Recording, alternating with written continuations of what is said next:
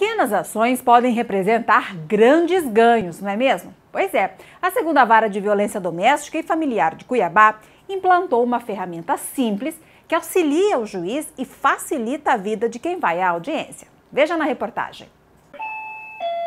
Vocês até podem achar que eu estou no aeroporto, mas não estou. Eu estou no Fórum de Cuiabá e vou explicar para você o porquê deste barulho e deste painel aqui de fundo. Eles são para auxiliar a quem vai nas audiências da segunda vara de violência doméstica e familiar de Cuiabá. No painel é informado o horário, quem é o autor, o réu e o tipo do processo.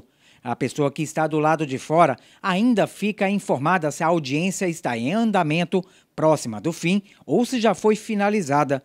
Juscelino, que estava no fórum, elogiou a nova ferramenta. É mais fácil para quem não conhece, chega aqui e já tem informação no painel, aí é só aguardar. Ó, como agora vai informar que hora que é a audiência. A audiência Isso para 14h30. Fica bom. O juiz que teve a ideia de instalar o painel destaca que o sistema ajuda, e muito, a otimizar o tempo das audiências. O tempo que o, o assessor levantava, ia até lá para fazer o pregão na porta, né?